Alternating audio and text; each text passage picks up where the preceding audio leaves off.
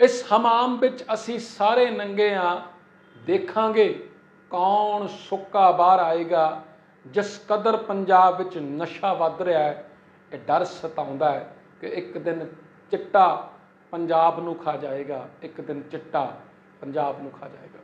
ਸਤਿ ਸ਼੍ਰੀ ਅਕਾਲ, ਪੀਬੀ ਬੱਤੀ ਨਵਾਂ ਸ਼ਹਿਰ ਦੇਖ ਰਹੇ ਹੋ, ਮੈਂ ਤੁਹਾਡਾ ਆਪਣਾ ਪਰਿਵਾਰਕ ਮੈਂਬਰ ਤਨੀਸ਼ ਸੂਰੀ ਦੋਸਤੋ, ਅੱਜ ਇੱਕ ਗੱਲ ਸਾਹਮਣੇ ਆਈ ਹੈ, ਜਿਸ ਤੋਂ ਪਤਾ ਲੱਗਦਾ ਹੈ ਕਿ ਪਿਛਲੇ 20 ਮਹੀਨਿਆਂ ਵਿੱਚ ਪੰਜਾਬ ਵਿੱਚ 310 ਮੌਤਾਂ ਜਿਹੜੀਆਂ ਆ, ਉਹ ਓਵਰਡੋਜ਼ ਕਰਕੇ ਹੋਈਆਂ, ਨਸ਼ੇ ਦੀ ਓਵਰਡੋਜ਼ ਕਰਕੇ।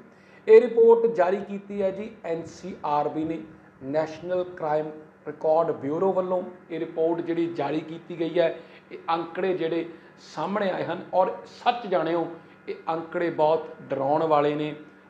ਖੌਫਨਾਕ ਤਸਵੀਰਾਂ ਸਾਹਮਣੇ ਆਈਆਂ ਨੇ। ਪੰਜਾਬ ਦੀ ਗੱਲ ਕਰੀਏ ਤਾਂ ਪੰਜਾਬ ਇਸ ਸਮੇਂ ਬੇਹੱਦ ਦਰਦਾਂ ਵਿੱਚੋਂ ਲੰਘ ਰਿਹਾ ਹੈ।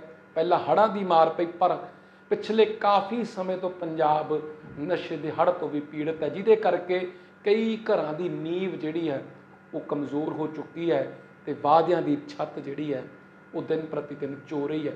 ਪਿਛਲੀਆਂ ਸਰਕਾਰਾਂ ਦੀ ਗੱਲ ਕਰੀਏ ਤਾਂ ਉਹ ਵੀ ਅਸਫਲ ਰਹੇ। ਚਿੱਟੇ ਦੇ ਪ੍ਰਕੋਪ ਤੋਂ ਪੰਜਾਬ ਨੂੰ ਬਚਾਉਣ ਲਈ ਤੇ ਮੌਜੂਦਾ ਹਾਲਾਤ ਵੀ ਕੁਝ ਚੰਗੇ ਨਹੀਂ ਹਨ, ਕੁਝ ਬਿਹਤਰ ਨਹੀਂ ਹਨ। ਰਿਪੋਰਟ ਦੀ ਗੱਲ ਕਰੀਏ ਤਾਂ ਜੋ ਐਨਸੀਆਰਬੀ ਨੇ ਰਿਪੋਰਟ ਪੇਸ਼ ਕੀਤੀ ਹੈ, ਜਿਹੜੇ ਅੰਕੜੇ ਪੇਸ਼ ਕੀਤੇ ਆ, ਉਹ ਦੱਸਦੇ ਆ ਕਿ ਪਿਛਲੇ 20 ਮਹੀਨਿਆਂ ਵਿੱਚ ਪੰਜਾਬ ਵਿੱਚ 310 ਮੌਤਾਂ ਨਸ਼ੇ ਦੀ ਓਵਰਡੋਜ਼ ਕਰਕੇ ਹੋਈਆਂ ਹਨ।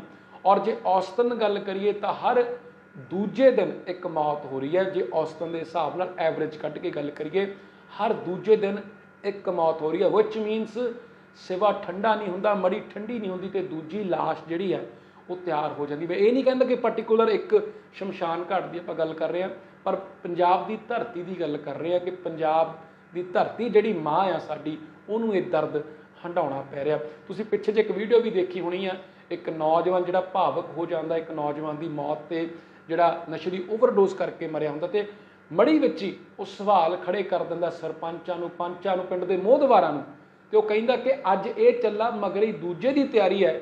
ਜਦ ਤੱਕ ਅਸੀਂ ਨਹੀਂ ਜਾਗਦੇ, ਇਹ ਕਾਫਲਾ ਨਹੀਂ ਰੁਕਣਾ। ਦੋਸਤੋ, ਮੈਨੂੰ ਸਮਝ ਨਹੀਂ ਆਉਂਦੀ ਕਿ ਡਿਮਾਂਡ ਮੈਨੂੰ ਸਮਝ ਨਹੀਂ ਆਉਂਦੀ ਕਿ ਡਿਮਾਂਡ ਸਪਲਾਈ ਦੀ ਜਿਹੜੀ ਚੇਨ ਆ, ਇਹ ਤੋੜੀ ਕਿਉਂ ਨਹੀਂ ਜਾਂਦੀ? ਇਹ ਖਤਮ ਕਿਉਂ ਨਹੀਂ? ਜੇ ਡਿਮਾਂਡ ਹੈ ਤਾਂ ਸਪਲਾਈ ਵੀ ਹੈ। ਜੇ ਸਪਲਾਈ ਹੈ ਤਾਂ ਡਿਮਾਂਡ ਵੀ ਹੈ। ਪਰ ਜੇ ਰਿਪੋਰਟ ਦੀ ਗੱਲ ਮੰਨੀ ਉੱਥੇ ਇਹ ਵੀ ਜ਼ਿਕਰ ਕੀਤਾ ਜਾਂਦਾ ਹੈ ਕਿ ਜਿਹੜੇ ਨਸ਼ੇ ਦੀ ਓਵਰਡੋਜ਼ 'ਚ ਮਰੇ ਨੇ ਵਧੇਰਿਆਂ ਦੀ ਉਮਰ ਜਿਹੜੀ ਹੈ ਉਹ 18 ਤੋਂ 30 ਸਾਲ ਦੀ ਵਿੱਚ ਹੈ। ਹਾਲਾਂਕਿ ਕਈ ਮਾਹਰਾਂ ਦੇ ਇਹ ਵੀ ਮੰਨਿਆ ਜਾ ਰਿਹਾ ਹੈ ਕਿ ਮਰਨ ਵਾਲਿਆਂ ਦੀ ਉਮਰ 18 ਤੋਂ ਘੱਟ ਵੀ ਹੋ ਸਕਦੀ ਹੈ।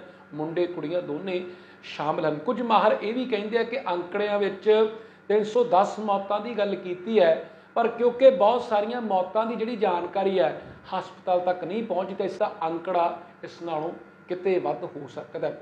ਰਿਪੋਰਟ ਦੀ ਮੰਨੀਏ ਤਾਂ ਕਈ ਜ਼ਿਲ੍ਹਿਆਂ ਦੇ ਹਾਲਾਤ ਜਿਹੜੇ ਆ ਉਹ ਚਿੰਤਾ ਪੂਰਵਕ ਬਣੇ ਹੋਏ ਆ। ਔਰ ਜੇ ਪਰਿਵਾਰਾਂ ਦੀ ਗੱਲ ਕਰੀਏ, ਜਿਨ੍ਹਾਂ ਦੇ ਨਿਆਣੇ ਸਕੋੜ ਵਿੱਚ ਫਸ ਚੁੱਕੇ ਆ, ਤਾਂ ਉਹ ਮਾਪੇ ਕਰਲਾਉਂਦੇ ਨੇ, ਕਲਪਦੇ ਨੇ। ਔਰ ਕਈ ਵੇਲੇ ਤਾਂ ਚੀਕਾ ਮਾਰ-ਮਾਰ ਕਹਿੰਦੇ ਆ ਕਿ ਸੌਦਾਗਰਾਂ ਨੇ, ਨਸ਼ੇ ਦੇ ਸੌਦਾਗਰਾਂ ਨੇ ਪੰਜਾਬ ਨੂੰ ਖਾ ਜਾਣਾ। ਔਰ ਮਾੜੇ ਅੰਸਰਾਂ ਦਾ, ਇਹਨਾਂ ਸੌਦਾਗਰਾਂ ਦਾ ਕੰਮ ਪਹਿਲਾਂ ਨਾਲੋਂ ਵੀ ਵੱਧ ਫੁੱਲ ਰਿਹਾ, ਇਹਨਾਂ ਦੀਆਂ ਪੌਂ ਬਾਰਾਂ ਹੁਣ। ਮਸਲਨ ਦੇ ਤੌਰ ਤੇ ਗੱਲ ਕਰ ਲਈਏ, ਅੱਜ ਇੱਕ ਰਿਪੋਰਟ ਮੈਂ ਹੋਰ ਪੜ੍ਹ ਕੇ ਜਲੰਧਰ ਤੋਂ ਸਾਹਮਣੇ ਆਈ ਹੈ, ਜਿੱਥੇ ਭਾਵਕ ਸ਼ਰਮਾ ਨਾਮ ਦਾ ਇੱਕ ਨੌਜਵਾਨ ਜਿਸ ਦੀ ਉਮਰ ਮਹਿਜ 20 ਸਾਲ ਸੀ, ਉਹਦੀ ਨਸ਼ੇ ਦੀ ਓਵਰਡੋਜ਼ ਕਰਕੇ ਮੌਤ ਹੋ ਗਈ ਹੈ। ਉਸਦੇ ਪਰਿਵਾਰ ਦਾ ਕਹਿਣਾ ਹੈ ਕਿ ਉਹਨਾਂ ਦਾ ਪੁੱਤ ਕੁਝ ਦਿਨ ਪਹਿਲਾਂ ਹੀ ਨਸ਼ਾ ਛਡਾਊ ਕੇਂਦਰ ਚੋਂ ਨਸ਼ਾ ਛੱਡ ਕੇ ਆਇਆ ਸੀ, ਪਰ ਹੈਰਾਨੀ ਵਾਲੀ ਗੱਲ ਇਹ ਹੈ ਕਿ ਪਰਿਵਾਰ ਨੂੰ ਤਾਂ ਇਹ ਪ੍ਰਤੀਤ ਹੋ ਰਿਹਾ ਸੀਗਾ ਕਿ ਉਹਨਾਂ ਦਾ ਪੁੱਤ ਨਸ਼ਾ ਛੱਡ ਕੇ ਆ ਗਿਆ, ਫਿਰ ਉਸ ਨੂੰ ਕਿਹੜੀ ਚੀਜ਼ ਨੇ ਮੋਟੀਵੇਟ ਕੀਤਾ ਇਨਫਲੂਐਂਸ ਕੀਤਾ ਕਿ ਉਹ ਫਿਰ ਤੋਂ ਦੁਬਾਰਤੀ ਨਸ਼ੇ ਵਿੱਚ ਲੱਗ ਗਿਆ ਤੇ ਓਵਰਡੋਜ਼ ਕਰਕੇ ਉਸ ਦੀ ਮੌਤ ਹੋ ਗਈ ਔਰ ਉਸ ਪਰਿਵਾਰ ਦਾ ਦਰਦ ਸਮਝੀਏ, ਇੱਕ ਪਿਤਾ ਜਿਸ ਨੂੰ ਸ਼ਾਇਦ ਥੋੜੀ ਆਸ ਹੋਵੇ ਕਿ ਪੁੱਤ ਨਸ਼ੇ ਛੱਡ ਗਿਆ ਔਰ ਉਸ ਤੋਂ ਬਾਅਦ ਉਹਦੀ ਓਵਰਡੋਜ਼ ਕਰਕੇ ਮੌਤ ਹੋ ਜਾਣੀ, ਤਾਂ ਪਿਤਾ ਦੇ ਦਿਲ ਤੇ ਕੀ ਬੀਤਦੀ ਹੋਵੇਗੀ?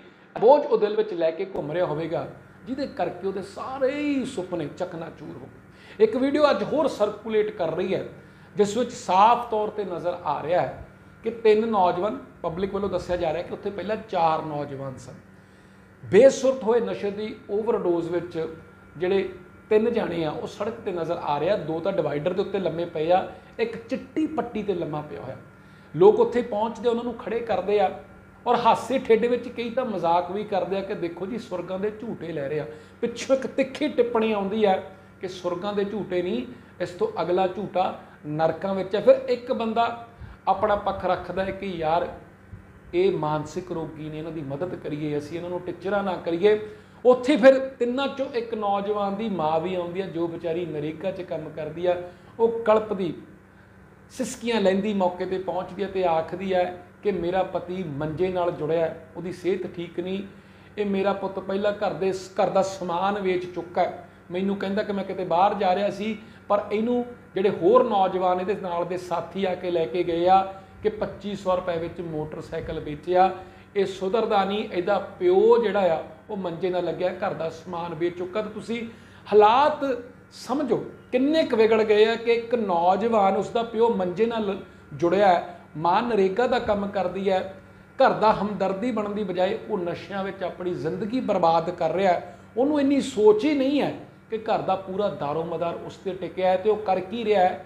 ਉਹਦੇ ਨਾਲ ਦੇ ਜਿਹੜੇ ਦੋਸਤ ਆ, ਉਹ ਬਿਨਾਂ ਨੰਬਰਾਂ ਵਾਲਾ ਮੋਟਰਸਾਈਕਲ ਸਿਰਫ 2500 ਰੁਪਏ ਵਿੱਚ ਵੇਚ ਕੇ ਆ ਤਾਂ ਬਹੁਤ ਸਾਰੀਆਂ ਚੀਜ਼ਾਂ ਇੰਟਰਲੇਟ ਕਰਦੇ ਹੁਣ ਆਪਾਂ ਉਹਨਾਂ ਨੂੰ ਸਮਝੀਏ ਕਿ 2500 ਰੁਪਏ ਦਾ ਮੋਟਰਸਾਈਕਲ ਜਿੱਥੇ ਵੇਚ ਕੇ ਆ ਸਭ ਤੋਂ ਪਹਿਲਾਂ ਤਾਂ ਪੁਲਿਸ ਨੂੰ ਪੁੱਛਗਿੱਛ ਕਰਕੇ, ਕਿਉਂਕਿ ਮੌਕੇ ਤੇ ਪੁਲਿਸ ਵੀ ਪਹੁੰਚ ਗਈ ਸੀ, ਜਿਹੜੇ ਅਨਸਰ ਨੇ, ਜਿਹੜੇ ਵਿਅਕਤੀ ਨੇ ਮੋਟਰਸਾਈਕਲ, ਲੱਖਾਂ ਦਾ ਮੋਟਰਸਾਈਕਲ, ਕੌਡੀਆਂ ਦੇ ਭਾਅ ਖਰੀਦਿਆ, ਪਹਿਲਾਂ ਤਾਂ ਉਸ ਨੂੰ ਵੀ ਫੜਨਾ ਚਾਹੀਦਾ, ਕਿਉਂਕਿ ਜਿਹੜੀ ਇੱਕ ਇਹ ਚੇਨ ਆ ਇਹ ਵੀ ਡਿਸਮੈਂਟਲ ਹੋਣੀ ਚਾਹੀਦੀ ਆ, ਕਿਉਂਕਿ ਬਹੁਤ ਸਾਰੇ ਨੌਜਵਾਨ ਜਦ ਘਰੋਂ ਸਾਰਾ ਸਮਾਨ ਵੇਚ ਦਿੰਦੇ ਆ, ਉਸ ਤੋਂ ਬਾਅਦ ਲੋਕਾਂ ਦਾ ਸਮਾਨ ਚੋਰੀ ਕਰਨ ਦੀ ਕੋਸ਼ਿਸ਼ ਕਰਦੇ ਔਰ ਜਿਹੜੇ ਮੋਟਰਸਾਈਕਲ ਚੋਰੀ ਵਾਲੇ ਇਹ ਵਰਤਦੇ ਆ, ਇਹ ਕੀ ਪਤਾ ਰੱਬ ਜਾਣੇ, ਇਸ ਵਾਸਤੇ ਵਰਤੇ ਜਾਂਦੇ ਆ।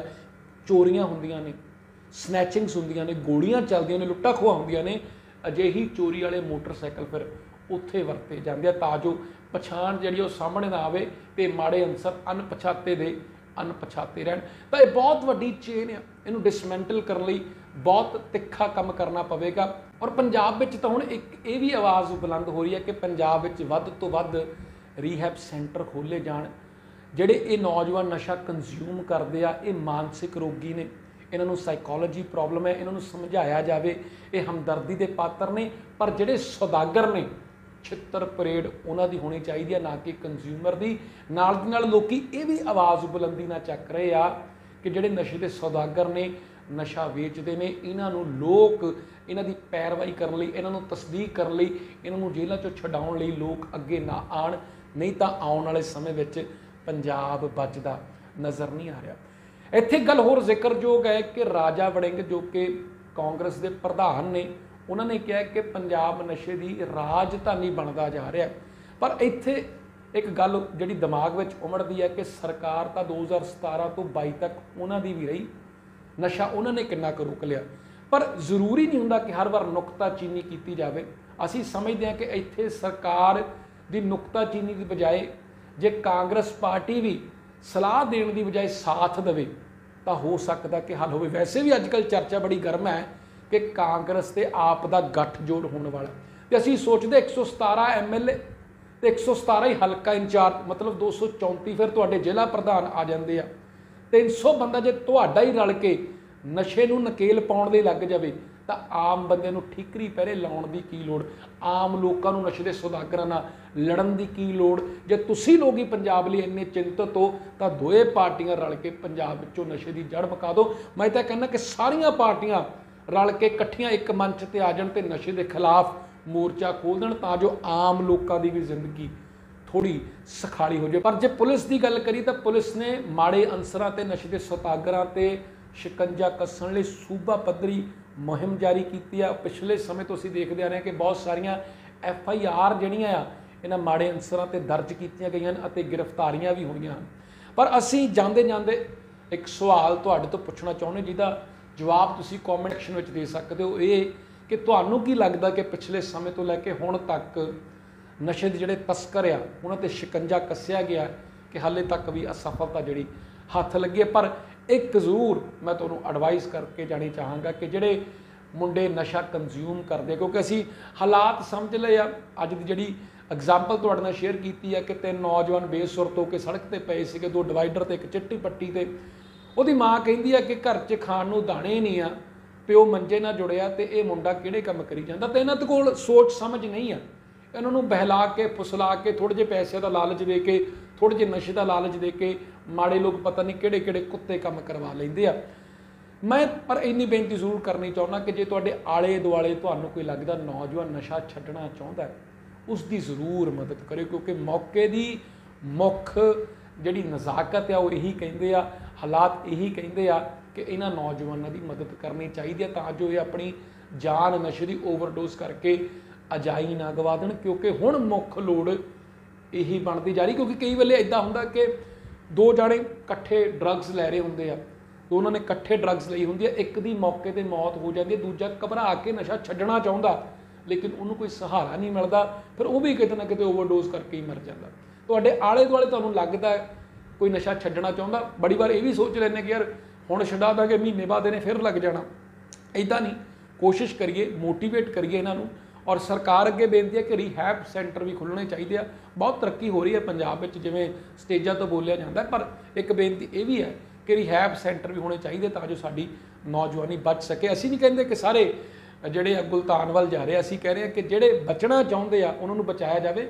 ਬਾਕੀ ਜਿੰਨੀ ਜਵਾਨੀ ਹੈਗੀ ਹੈ ਉਹ ਤਾਂ ਪ੍ਰਦੇਸ਼ਾਂ ਨੂੰ ਜਾਈ ਰਹੀ ਹੈ ਤਾਂ ਹੱਥ ਜੋੜ ਕੇ ਇਹੀ ਬੇਨਤੀ ਸੀ ਔਰ ਜਿਹੜੀਆਂ ਇਹ ਜਿਹੜੀ ਰਿਪੋਰਟ ਸਾਹਮਣੇ ਆਈ ਹੈ, ਜਿਹੜੀ ਅੰਕੜੇ ਸਾਹਮਣੇ ਆਏ ਆ, ਸੱਚੀ ਬਹੁਤ ਪਰੇਸ਼ਾਨ ਕਰਨ ਵਾਲੇ ਕਿਉਂਕਿ ਇਹਨਾਂ ਦੇ ਹਿਸਾਬ ਨਾਲ ਔਸਤਨ ਹਰ ਦੂਜੇ ਦਿਨ ਇੱਕ ਮੌਤ ਹੋ ਰਹੀ ਹੈ ਔਰ ਮਾਹਿਰ ਤਾਂ ਇਹ ਵੀ ਮੰਨਦੇ ਆ ਕਿ ਅੰਕੜੇ ਵੱਧ ਹੋ ਸਕਦੇ ਕਿਉਂਕਿ ਸਾਰੀ ਜਿਹੜੀ ਜਾਣਕਾਰੀ ਆ, ਸਾਰੀ ਜਿਹੜੀ ਰਿਪੋਰਟ ਹੈ ਹਸਪਤਾਲਾਂ ਤੱਕ ਨਹੀਂ ਪਹੁੰਚਦੀ, ਮੌਤ ਦੀ ਜਾਣਕਾਰੀ ਨਹੀਂ ਪਹੁੰਚਦੀ। ਤਾਂ ਅਸੀਂ ਤਾਂ ਰੱਬ ਅੱਗੇ ਇਹੀ ਬੇਨਤੀ ਕਰਦੇ ਹੀ ਕਾਮਨਾ ਕਰਦੇ ਹਾਂ ਕਿ ਪੰਜਾਬ ਜਿਹੜੀ ਗੁਰੂਆਂ ਪੀਰਾਂ ਦੀ ਧਰਤੀ ਹੈ, ਮਾਲਕ ਮਿਹਰ ਕਰੇ ਔਰ ਨੌਜਵਾਨਾਂ ਨੂੰ ਸੁੱਝ ਮਿਲੇ। ਬਹੁਤ ਬਹੁਤ ਸ਼ੁਕਰੀਆ। ਬੜੇ ਰਹਿਣਾ ਵੀ ਬੱਤੀ ਨਵਾਂ ਸ਼ਹਿਰ ਆਪਣੇ ਛੋਟ ਵੀ ਦਿਨੇ ਸੂਰੀ ਕੈਮਰਾ ਪਰਸਨ ਵਿੱਚ ਕੋਲ ਇਜਾਜ਼ਤ ਦਿਓ ਬਹੁਤ ਜਲਦੀ ਫਿਰ ਤੋਂ ਹਾਜ਼ਰ ਹੋਵਾਂਗੇ ਸਤਿ ਸ਼੍ਰੀ ਅਕਾਲ, ਰੱਬ ਰੱਖਾ।